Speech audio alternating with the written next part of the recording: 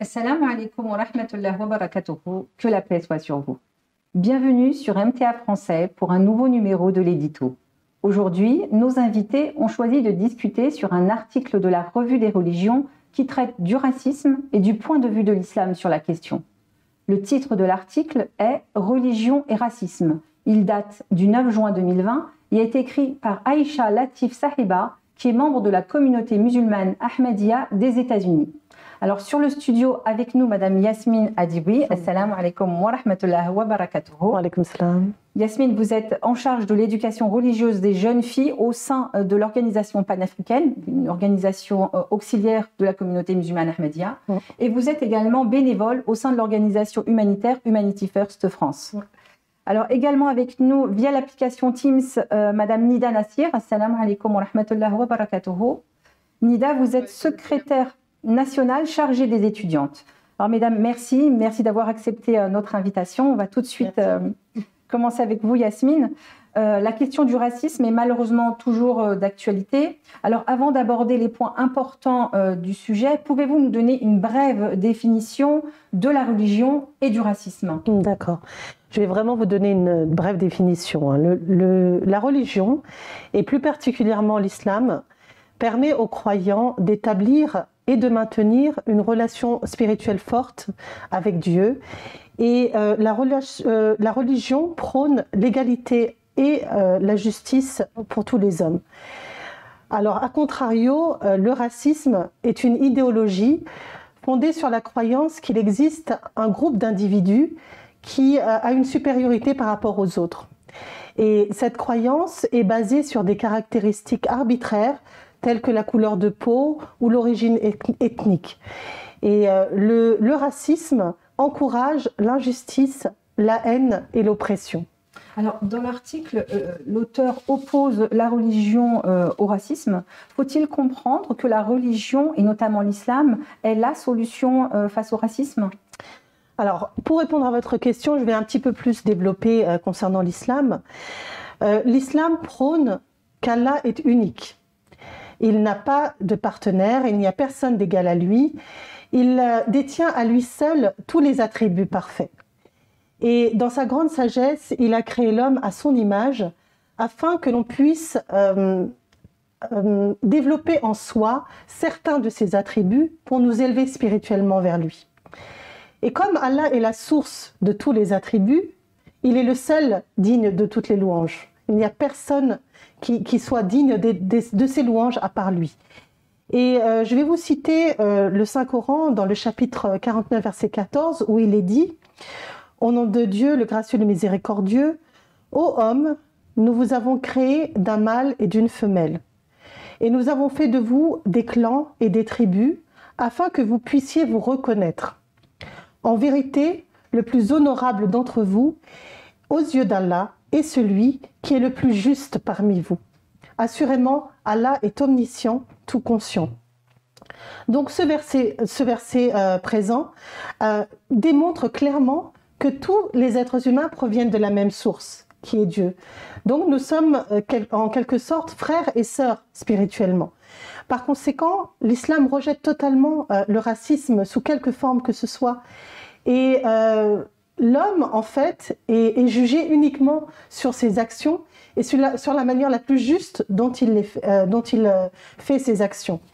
Et je voulais aussi euh, vous citer un autre verset du Saint-Coran qui est le chapitre 49, verset 12, où Allah dit Ô vous qui croyez qu'un peuple ne raille pas un autre qui pourrait bien valoir mieux que lui, et que les femmes ne se moquent pas d'autres femmes qui pourraient être bien meilleurs qu'elle. Et ne vous diffamez pas les uns les autres, et ne vous donnez pas non plus des sobriquets. En vérité, il est très laid de souffrir d'une mauvaise réputation après avoir cru. Et ceux qui ne se repentent pas sont du nombre des injustes. Donc ce verset répond à votre question, Fatna. Oui, la solution est euh, la, religion de l'islam est la solution face au racisme, car ces nobles enseignements poussent les hommes à rivaliser les uns les autres pour le bien et dans la justice. Alors merci Yasmina pour cette réponse. Donc l'islam en tant que religion universelle est basé, vous l'avez dit, hein, sur euh, le, principe de justice et d'égalité pour tous. Nida, pouvez-vous nous parler des moyens mis en place par cette religion pour garantir cette égalité? Oui, maintenant. En fait, c'est par la pratique même de notre foi que l'égalité est garantie. Chaque personne, homme ou femme, qui décide d'accepter le message de l'islam doit accomplir les cinq piliers de l'islam en toute sincérité et en toute honnêteté. Il s'agit de la profession de foi, les cinq prières quotidiennes, le jeûne, la zakat, c'est-à-dire la contribution financière, et le pèlerinage à la Mecque. D'abord, la profession de la foi, La ilaha illallah Muhammad Rasulullah, qui signifie Nul n'est digne d'être adoré à part Allah. Et Muhammad sallallahu alayhi wa sallam est le messager d'Allah. Permet de réaffirmer l'unicité de Dieu et donc de nier une autre divinité à côté d'Allah. Ensuite, la prière euh, musulmane établit une solidarité entre les différents peuples en ignorant complètement les spécificités culturelles ou ethniques. Lors de la prière en congrégation, en congrégation, chaque musulman se soumet individuellement à son Seigneur en suivant l'imam. En nous mettant les uns à côté des autres, cela favorise un sentiment d'équité entre les fidèles. Le troisième euh, pilier de l'islam est le jeûne, qui permet d'éprouver de l'empathie envers les moins fortunés. La privation volontaire de nourriture par le jeûne nous fait ressentir les souffrances de la faim, qui fait partie du quotidien des plus euh, démunis. Cette empathie développe alors en nous une volonté d'entraide et de rétablissement des droits de chacun dans la société. Ainsi, l'un des nombreux bienfaits du jeûne est de rétablir la justice sociale. Dans le quatrième pilier, les croyants sont tenus de payer la zakat pour aider les moins fortunés. C'est une contribution financière qui provient des richesses non utilisées durant une année entière. Cette pratique de justice économique est opposée au système de l'intérêt pratiqué dans nos sociétés occidentales. Enfin, euh, le cinquième pilier de l'islam est la pratique du Hajj, euh, qui est le pèlerinage à la Mecque. C'est un moment et un, lieu où nombreux musulmans se rassemblent sans distinction de race, euh, de couleur, de patrie ou de statut social, dans le seul but d'adorer le Dieu unique et tout-puissant. Ainsi, euh, l'islam développe en nous la compassion envers l'humanité. Ainsi, avec la mise en place de ces piliers, l'islam attend de nous que nous soyons justes les uns envers les autres et que nous rejetions toute forme de pensée ou d'action erronée ou d'action fondée, pardon, sur une quelconque notion erronée de supériorité raciale ou, de même, euh, ou même de domination sociale, économique et politique. Ah, euh, merci euh, Nida. Donc je reviens vers vous Yasmine. Euh, comment faut-il comprendre le concept d'égalité? Est-ce que ça suppose qu'il faudrait oublier la diversité des peuples? Alors je ne dirais pas cela, je, dirais que la diversité des peuples a un rôle à jouer. Voilà. Allah, dans sa grande sagesse, a créé les peuples qui s'adaptent physiquement aux différentes parties du monde dans lesquelles ils vivent. Ainsi, la couleur de peau, la pilosité, la taille et d'autres caractéristiques physiques seront différentes si euh, l'homme vit en Asie, en Afrique ou en Océanie. Et je vais vous citer un verset du Saint-Coran qui est la Sourate Al-Maïda et qui déclare Et si Allah vous avait imposé sa volonté, il aurait fait de vous tous un seul peuple. Mais il veut vous éprouver d'après ce qu'il vous a accordé.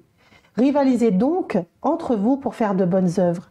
Ainsi, cette diversité en réalité est a pour but de tester l'homme dans son acceptation de l'autre et de sa différence.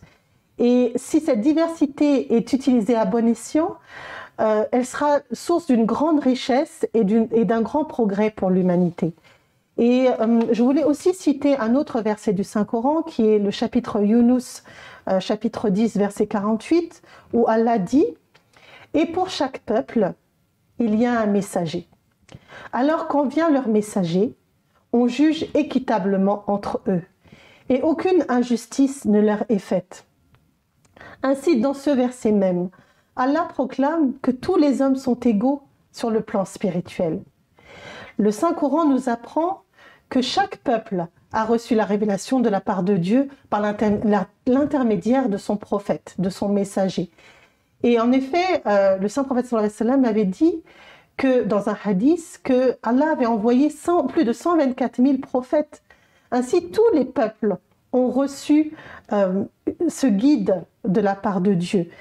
Et euh, l'islam rejette par conséquent le racisme, puisque nous sommes tous frères et sœurs spirituellement parlant. Et ces enseignements prônent l'égalité spirituelle et la justice, bien entendu. Euh, merci en tout cas, Yasmine, hein, pour cette réponse claire. Euh, Nida, alors l'islam s'est propagé rapidement hein, parmi les Arabes, parmi les non-Arabes, les Blancs, les Noirs, et parmi également les, esclaves. Quel message le saint prophète Mohammed leur a laissé et nous a laissé?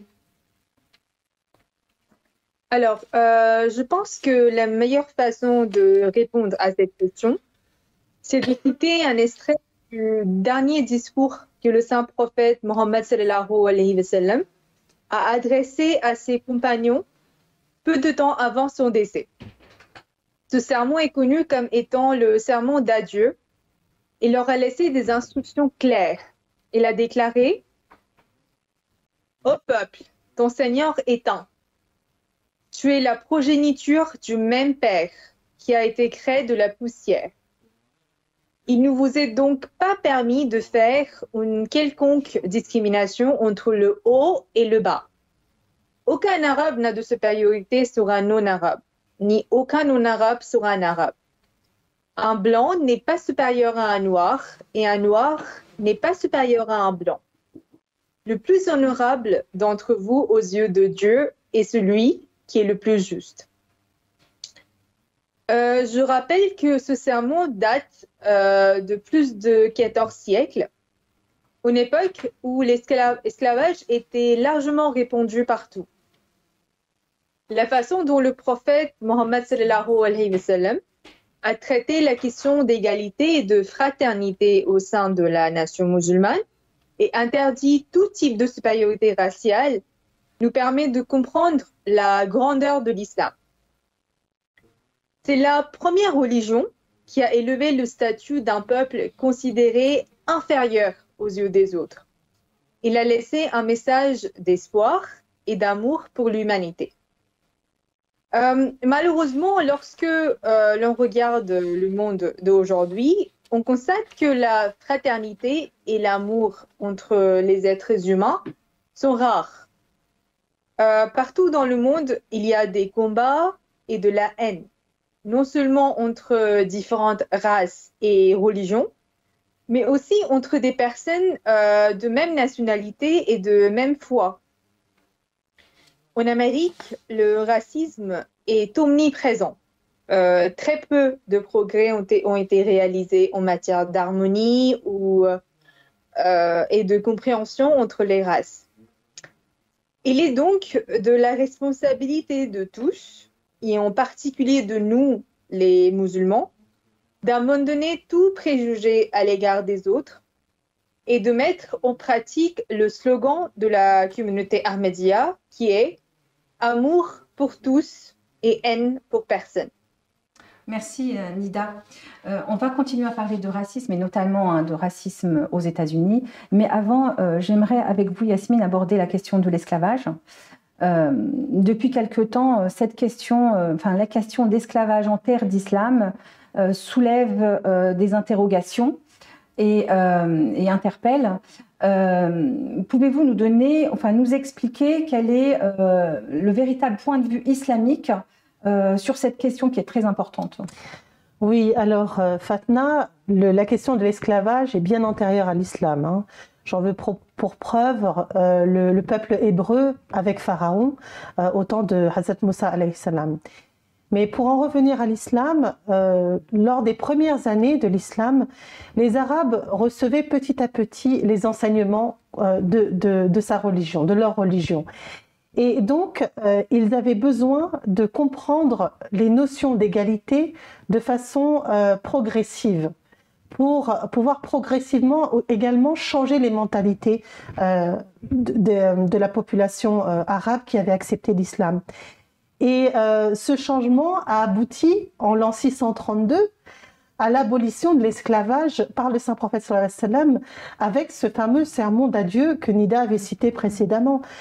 Et je voulais également citer un verset du Saint-Coran qui le corrobore c'est la sourate al-Balad, versets 11 à 14, où il est dit Et nous lui avons indiqué les deux grandes voies du bien et du mal. Mais il n'a pas tenté de faire courageusement l'ascension. Et qu'est-ce qui te fera savoir ce qu'est l'ascension? C'est la liberté, la libération d'un esclave.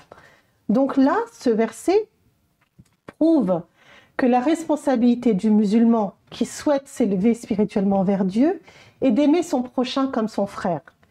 Il doit euh, pouvoir maintenir les droits de son frère au mieux de ses capacités. Et de facto, l'esclavage est une, est une abomination qui est condamnée par l'islam. Euh, ce verset, comment peut-on appliquer ce verset à notre époque? Ah, alors euh, je vais vous parler du, cinquième calife de la communauté musulmane Ahmadiyya, qui est Hazrat Mirza Masrour Ahmed Kallaled, il a répondu avec beaucoup d'éloquence sur la façon dont l'islam considère l'esclavage. Et à maintes reprises, il a fait appel aux dirigeants mondiaux afin qu'ils comprennent l'esclavage dans sa, dans sa signification la plus euh, moderne et ses diversités, et de ses dérivés, pardon. Et euh, le calife de la communauté musulmane Ahmadiyya avait fait une adresse en 2013 à la PAMA, la PAMA, c'est l'organisation panafricaine auxiliaire de la communauté musulmane.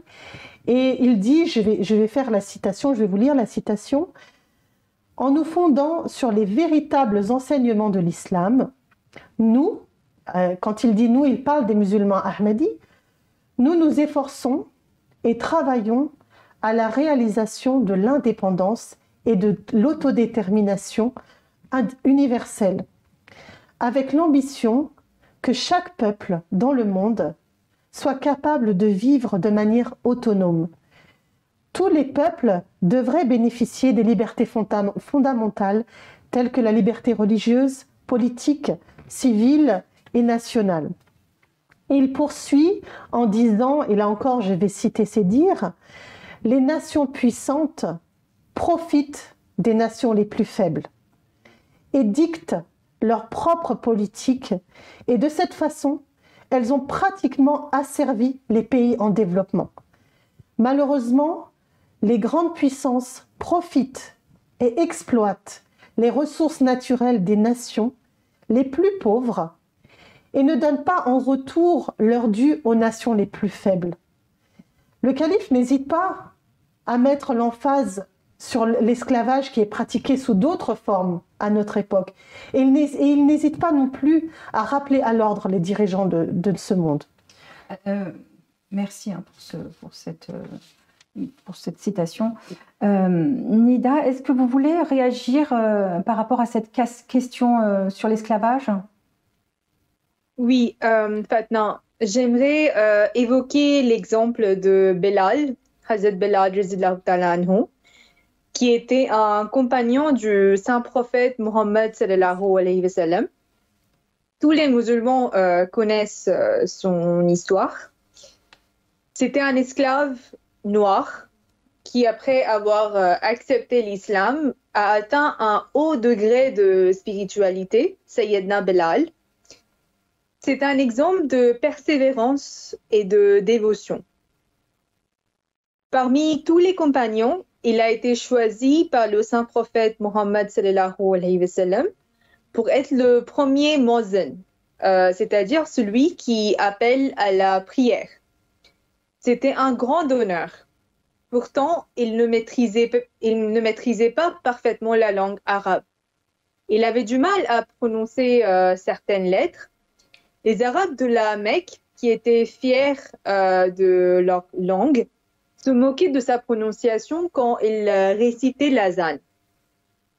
Ils oubliaient qu'eux-mêmes euh, n'arrivaient pas à prononcer certains sons ou certaines consonnes d'autres langues. Le saint prophète Mohammed répondait à cette euh, moquerie en disant Vous vous moquez de Belal parce qu'il prononce Asado au lieu de Ashado, mais Dieu, sur son trône, est ravi d'entendre son azan. Les compagnons du prophète Mohammed euh, sous son influence, ont appris à ignorer les différences de race et de couleur et aller prier à la mosquée après chaque appel de Bilal, de Hazrat. À l'époque, euh, les Noirs étaient réduits à l'escla- à l'esclavage. Or, le saint prophète sallallahu alayhi wa sallam ne considérait pas les non-arabes comme bas et inférieurs, car à ses yeux, toutes les nations ont été créées par un Dieu unique. Cet amour immense qu'il avait envers les Arabes, tout euh, comme les Africains, les Grecs ou les Romains, a engendré une affection dans le cœur de ces non-arabes, aussi pour euh, sa personne. Le saint prophète sallallahu alayhi wa est né à la Mecque parmi les Arabes. Normalement, il aurait pu euh, montrer son affection pour sa tribu ou pour son clan. Mais il a été envoyé pour euh, tous les peuples. Comme Allah a dit dans le chapitre 21, verset 108.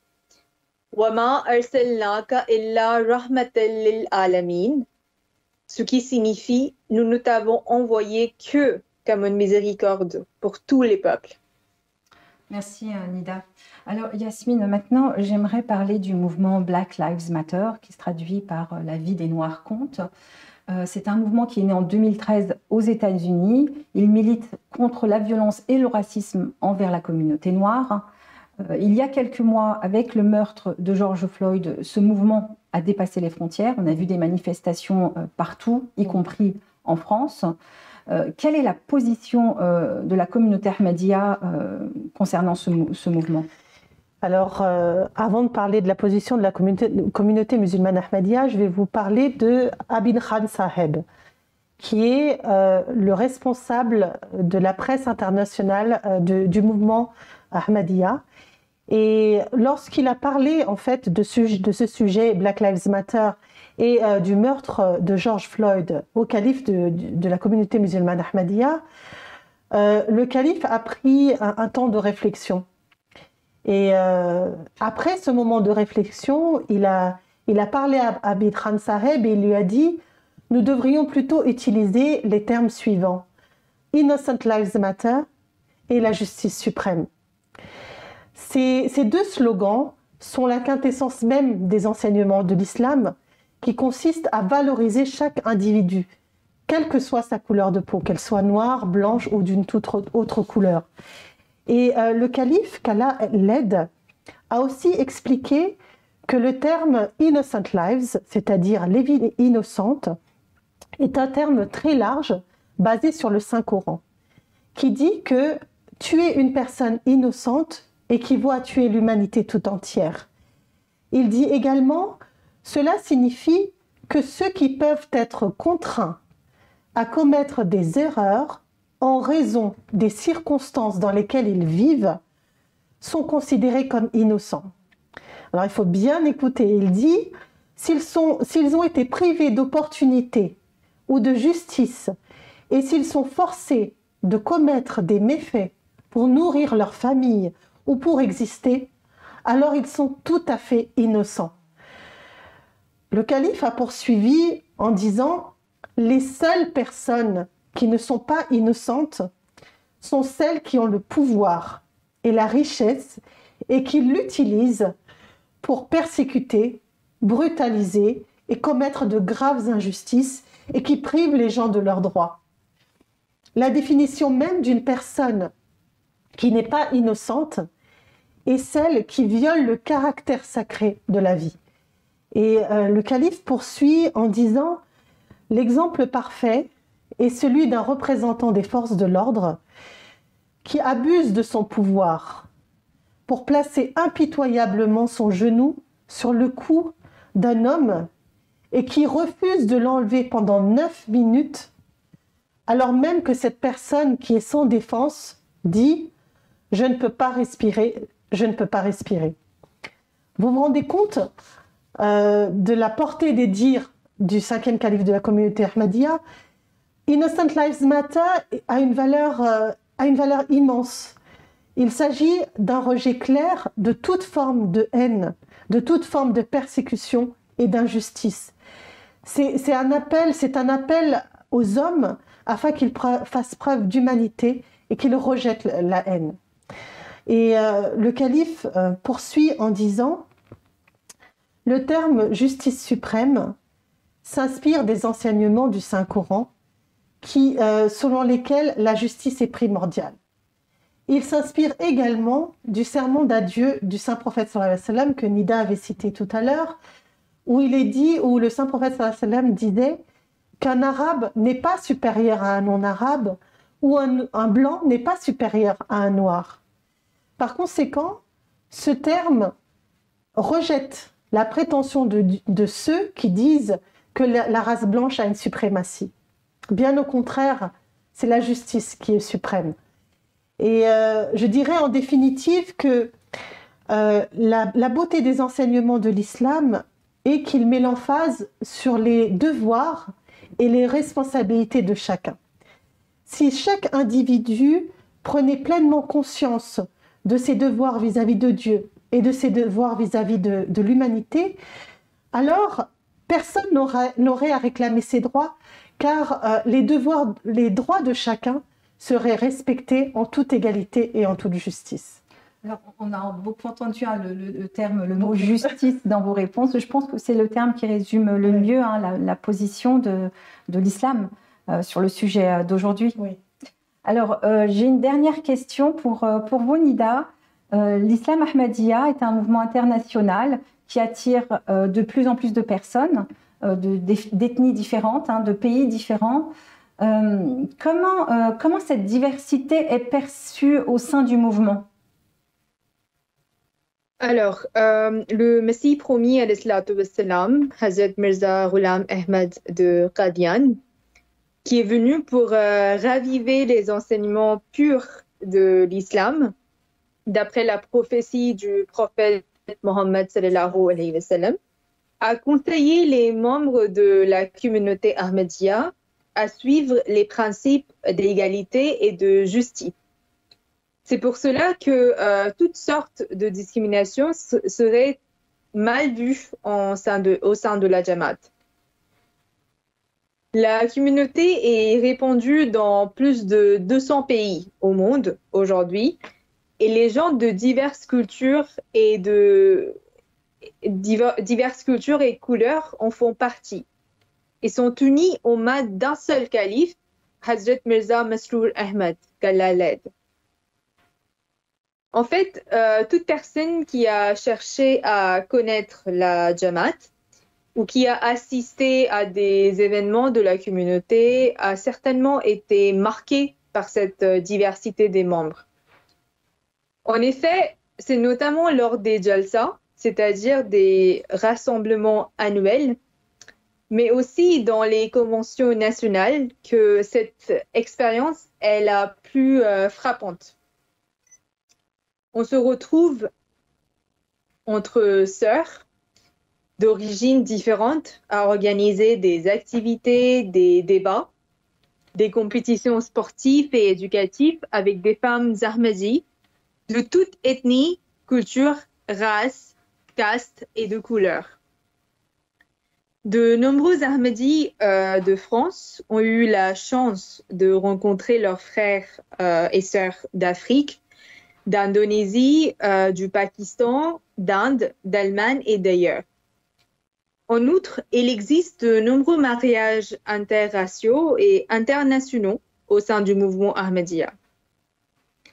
Cette atmosphère de diversité culturelle euh, témoigne de la doctrine de l'égalité dans l'islam, ainsi que de la véracité, ainsi que de la véracité, pardon, de l'Ahmadiyya en tant que renaissance de l'islam. Très bonne conclusion, euh, Nida, merci. Alors, mesdames, c'est la fin euh, de l'émission. Merci infiniment pour euh, cette discussion. Merci à vous de nous avoir suivis. On se retrouve bientôt, Inch'Allah. En attendant, prenez soin de vous. Wassalamu alaikum wa rahmatullah wa barakatuh.